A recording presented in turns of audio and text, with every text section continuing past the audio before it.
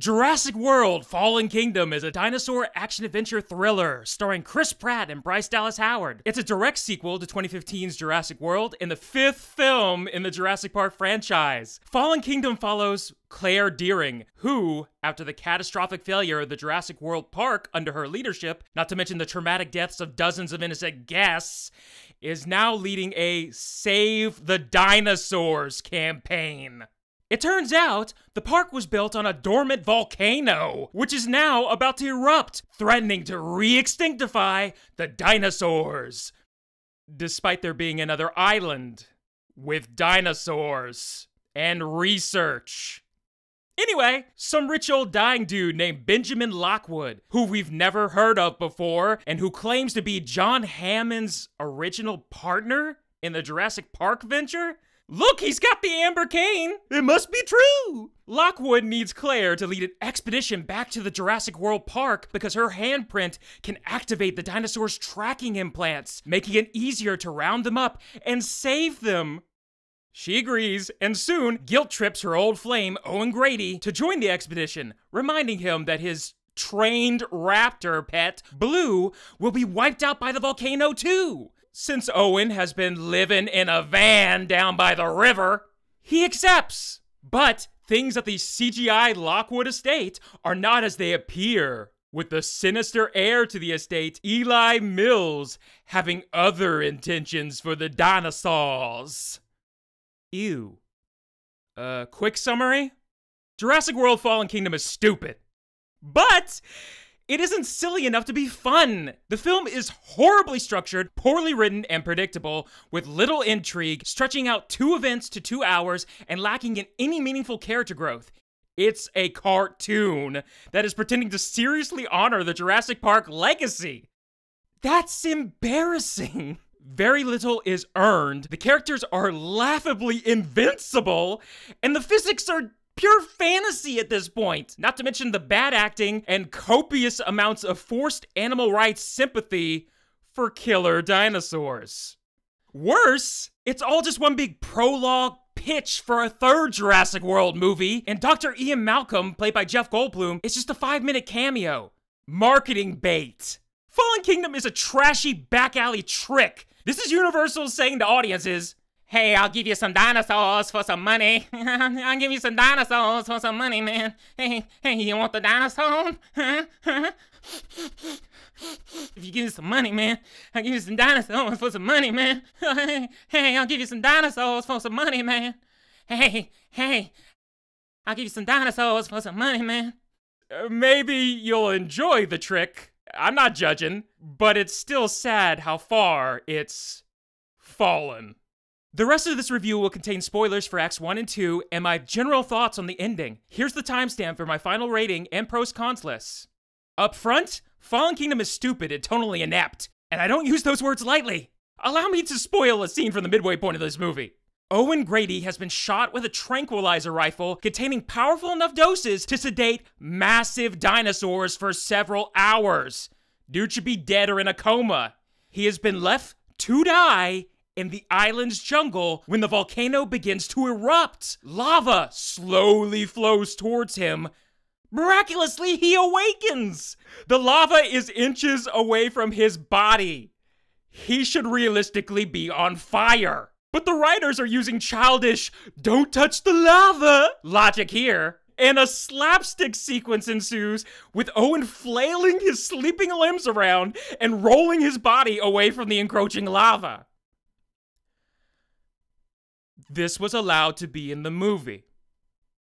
Maybe the ridiculousness of this premise could have been saved by better direction, editing, music, and cinematography. Perhaps if the camera was at Owen's eye level, seeing the approaching lava like a tsunami, placing us in his harrowing struggle, it might have worked. Instead, the scene only starts out that way and is mostly composed of long shots and medium shots looking down on Owen as he rolls about. My audience and I were laughing. I think we were supposed to. But why?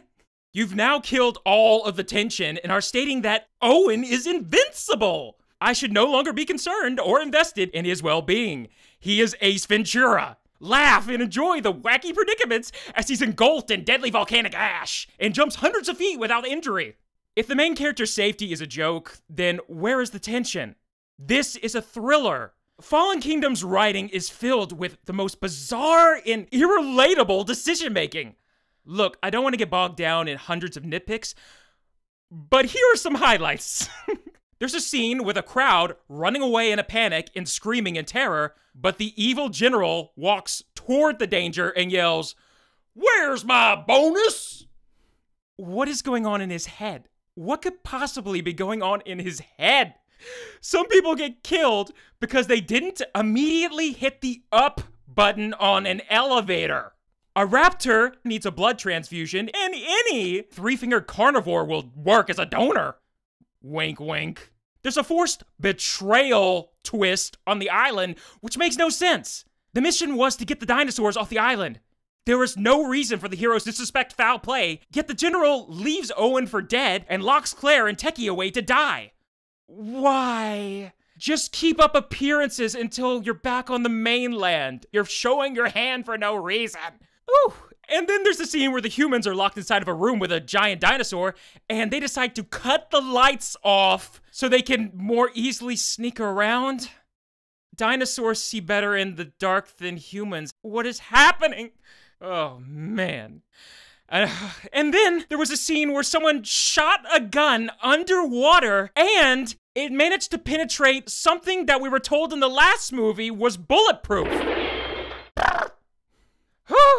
At another point, Claire and her techie friend open a tunnel, hear a large dinosaur coming, and instead of immediately looking for another escape route, especially since there's a ladder clearly visible to the right, they stand in front of the tunnel, waiting to find out what dinosaur it is. The techie is like, Please don't be a T Rex. Please don't be a T Rex. It's a T Rex. Claire is like, Nah, it's not a T Rex. Who cares, you morons? Run! It turns out to be a different large meat eater dinosaur, and Claire brags. See? Not a T Rex. The fruit! Did I just hear? Oh, one last one, one last one. The scene with the little girl in the bed from the trailers, she was not asleep before that dinosaur broke into her room. She had been previously running away from said dinosaur, locked the door, and hid under the blankets. Any normal child, wink wink, would hide under the bed. But the filmmakers wanted the image of a little girl being confronted by a dinosaur in her bed. So they just contrived it. In Fallen Kingdom, there is a lot of forced writing to achieve admittedly interesting images and scenarios. But because it's forced, I'm taken out of the moment. I can't relate to these characters. Speaking of which, what about the characters and the story structure? Claire is the main character. She has unconvincingly become a dinosaur rights advocate. This makes little sense to me. If I ran a dinosaur park that resulted in dozens of fatalities, my act of restitution would not be to think of the poor dinosaurs. I would be dedicated to aiding the human victims of wildlife attacks or personally helping the families affected by the Jurassic World incident. This dinosaurs' rights angle feels forced. If anything, the businesswoman Claire that I know from the first movie would be looking to recuperate her financial losses and would be secretly working with the bad guys. If we're still in the continuity of the first movie, Owen is the one who respected and cared for the dinosaurs. Yet he has to be reminded of this by Claire. The two of them have broken up. Again. Just to repeat their romance from the last film except that there is no development for their relationship beyond the introductory scenes.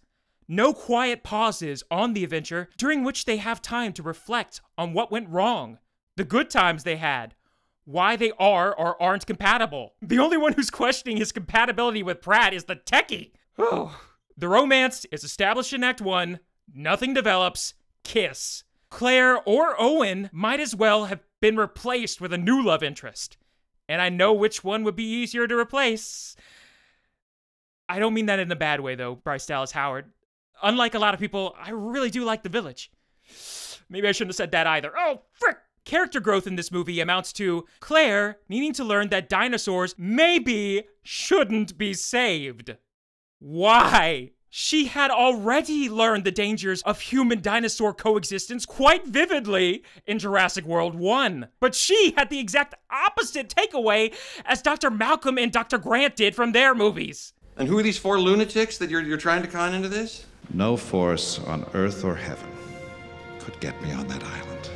My mission in life is to ensure the safety and protection of these animals. So this is a velociraptor. So many people loved Jurassic World. And what are you going to do to make sure that your children have the same experience that you did? Tons of TNT. We must save the dinosaurs.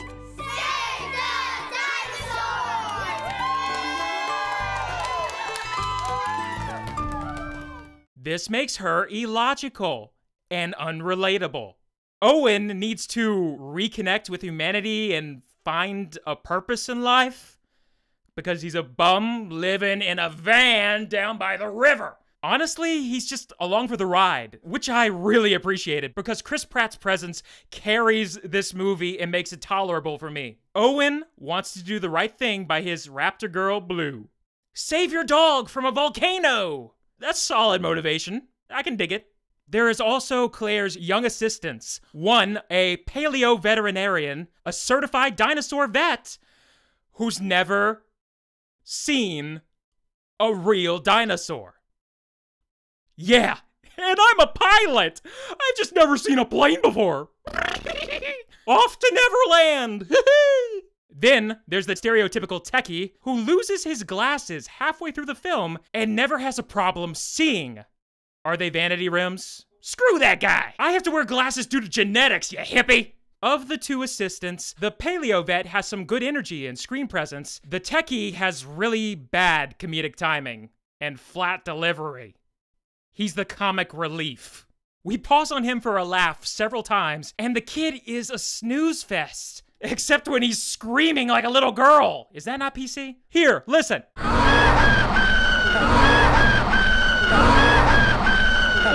And you know what? That's probably what got him the part. Those are the only times that people laughed when he was doing the scream. Still, both of these assistants are throwaway characters. At one point, the techie guy yells, Why am I here? Exactly. Why are you here? Two thirds of Jurassic World Fallen Kingdom is spent with Claire, Owen, the vet, and the techie on their adventure. And the other third is dedicated to some random little girl back at the Lockwood estate as she overhears Eli Mills' villainous plans. Who is she? Why should I care about this girl? Hey, hey, hey, hey, hey. If this were real life, of course I'd care about some little girl's safety in a heartbeat. But whenever you're a character in a movie, there needs to be an assurance of relevance. Everything that I'm watching on the screen has to eventually justify itself. And the longer it goes without doing so, the more pointless it seems to the audience. There are no main characters with this little girl, and the movie keeps cutting away from the action on the island to scenes of her talking with her grandpa and sneaking around the mansion to spoil the villain's plot. Yeah. Instead of learning the bad guy's motives along with Claire and Owen, we find out 20 minutes earlier with the little girl. In fact, there is so much redundant, over explained villain motivation left in the movie to keep the little girl's screen time up. She even stumbles across a vacated Apple computer with a paused QuickTime video of Owen and Blue training together. Everything that she conveniently finds out will also be discovered by Owen and Claire again later on and more efficiently. It isn't until the end of the film that we find out that the little girl was the most important character, and caring about her was a big priority. In that case, maybe Claire, since the romance wasn't working between her and Owen, should have stayed behind at the mansion, giving the audience a reason to connect with and care for the little girl. I remember that in Jurassic World 1, Claire's character didn't really care for or respect the kids. Last time I saw you, you were like, that must have been what, four years ago? Uh, seven. Seven years, but, you know, close. How old? Uh, the, um, the older one, he's like, uh, he's high school age, a few years. You don't know how old your nephews are? Yeah, everything's great. The boys are having fun. Everyone's. Really? Because I just hung up with Zach and he said that you weren't even with them. This little girl subplot could have been interesting character growth for Claire, learning to be less robotic and more motherly. Well, a promise tomorrow is worth a lot less than trying today. You'll see when you have kids. Yeah, if. When it's worth it. Bye, Mom. Bye.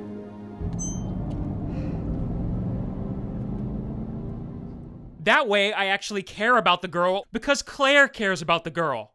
But the people on the island need Claire's handprint. Look, if you're writing the movie, just write that Owen's handprint can work too, since Owen was Blue's trainer.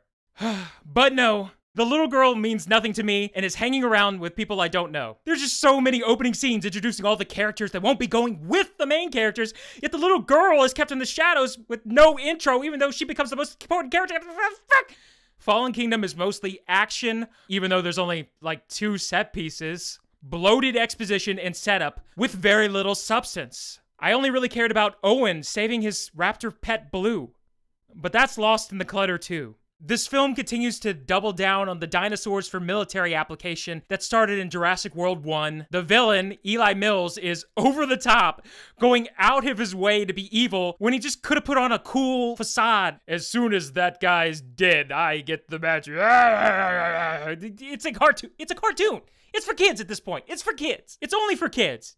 But it's not fun. You don't get to see much of the abandoned theme park. The general is evil for no reason as well. You remember the genetically modified Indominus Rex from Jurassic World?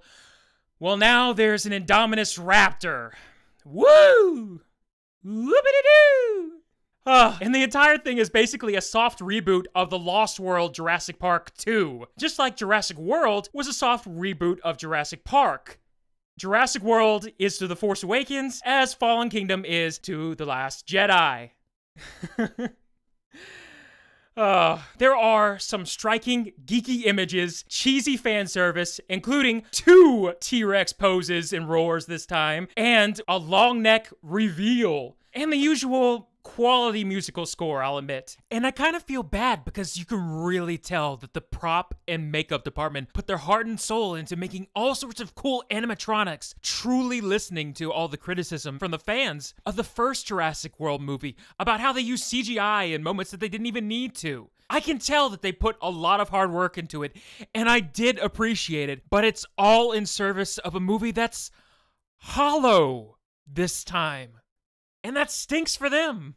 All of this is leading up to a big reveal with massive moral and philosophical implications that feels totally unearned and tacked on. It's a subject that's big enough for its own movie, made to be a last minute twist here. Yet still, the movie acts like it earned a heartfelt message resolution to the twist, which we had only learned about 10 minutes ago.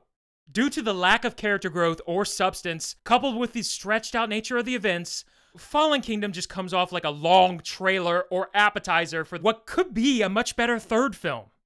And if there's anything I've learned, it's this bad movies find a way.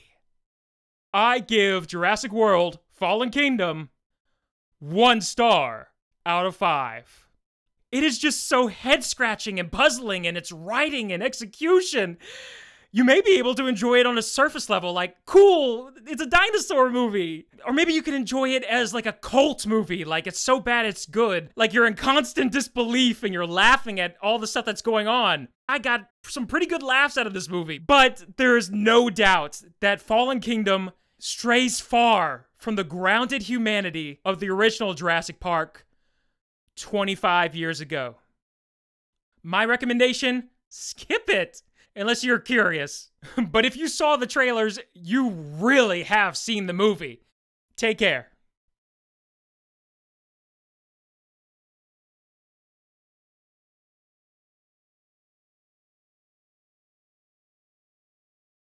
Fallen Kingdom is a dinosaur action adventure thriller starring Chris Pratt and Bryce Dallas Howard. Bryce Dallas Howard. Get excited. It's and worse, worse. but the right, But the writers are using. a raptor needs a blood transfusion, and any three fingered carnivore. Carnivore, carnivore. A raptor needs a blood transfusion, and any three fingered carnivore will work as a carnivore. Man, am I sweating? Oh my goodness. Uh, back to the review. Two thirds of Jurassic 4. Jurassic 4. Hippie. The film. The film. The film. The film, once again. The. f- Yahoo! Tobin Bell's in this. He's got nice teeth. Do you remember the sounds they made?